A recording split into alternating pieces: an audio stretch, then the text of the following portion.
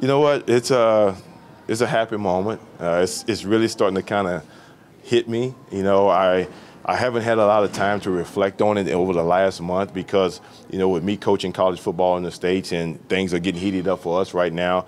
My my days have been long. So now that I'm away for a few days, just flying into here, I kind of got emotional and my wife was like, "You okay?" And I'm like, "This is really happening," you know, and. Uh, and I kind of told her, I said, I'm sorry. And she's like, nah, you need to do that. I don't want to do it tonight. So, but uh, it's just a it's just a happy moment, you know, and to share it with a guy like Neil, uh, just a great person, a great football player, a hometown legend.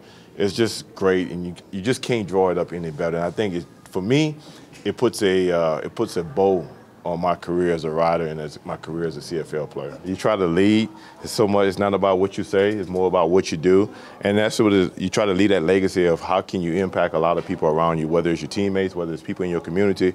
And that's how you get back from the game of football. You know, I was always taught to to give all that you have to the game and the game and give back to you. And it's about impacting people. For me, it's all about being the best that you can be because we only get a short period of time to play this game of football. And when you have that opportunity and you're blessed to do it, you always want to be able to to to give all that you can. Uh, and in, in, in the end, it's not about how you get there. You know, I came in the draft. Neil was undrafted it's about how you finish. And it's great to know that I, we get to finish together going into the plaza tonight. So that's a great deal for me. And, uh, and I've, I've met my expectations and I was able to help bring a championship here to this organization. And, uh, you know, that's a lasting lifelong, lifelong memory. Now as the, as the Plaza of Honor, that's something I can, can add to the, the legacy.